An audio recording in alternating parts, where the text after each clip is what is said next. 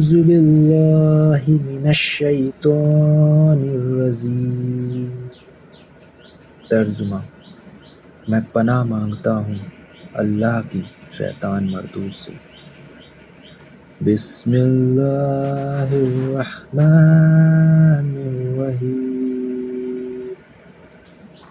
तर्जुमा शुरू करता हूँ मैं अल्लाह के नाम से जो बड़ा मेहरबान निहायत रहम वाला है मेरे मोहतरम बुज़ुर्ग दोस्तों, जैसा कि हमने पहली वीडियो में कायदा नंबर एक पढ़ा था, आज हम पढ़ने जाएँगे कायदा नंबर दो, ज़बर।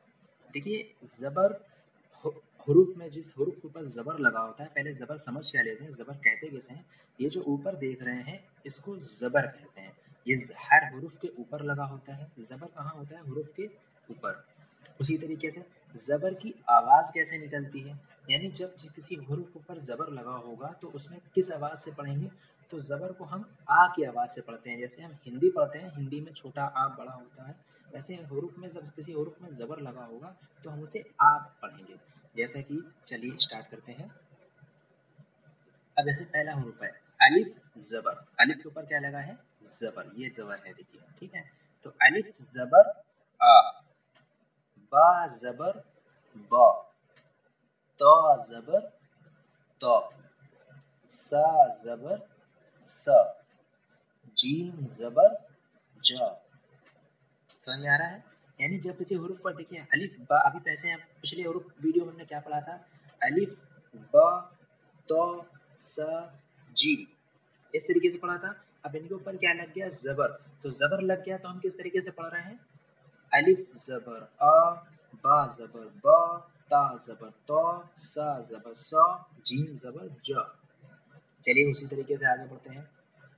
अब हे जबर हा हे जबर हा दाल जबर द जाल जबर ज रे जबर र उसी तरीके से आगे बढ़ते हैं। देखिए हुरफों के नीचे भी लिखा गया है, हिंदी में मेंशन किया गया है। उस तरीके से भी आप देख सकते हैं। कि जो चीज़ ना समझ में आ रही हो या फिर हम मुझसे ही कोई कुछ गलती हो रही हो, हालाँकि गलती होंगी तो गलती अगर हो रही हो तो आप उसमें भी देख सकते हैं या सुनने में कुछ फ़र्क आ गया हो। बाकी आप मुझे कमेंट सेक्शन में बता सकते हैं कि आपको कुछ भी चीज़ ना समझ में आए, मुझे कमेंट करें। इन उस कमेंट का ज़रूर जवाब दिया जाएगा। चलिए उसी तरीके से आगे बढ़ते हैं। जे ज़बर ज, सीन ज़बर स, शीन ज़बर श। देखिए, बताया था ना पिछले वीडियो में कि बड़ी शीन को थोड़ा गाढ़ा पढ़ते हैं। शी तो शीन ज़बर श ज़बर सौ ज़ाद ज़बर ज़ो। चलिए उसी तरीके से आगे बढ़ते हैं। तो ज़बर तो जो ज़बर जो आइन ज़बर आ, गैन ज़बर ग फे ज़बर फा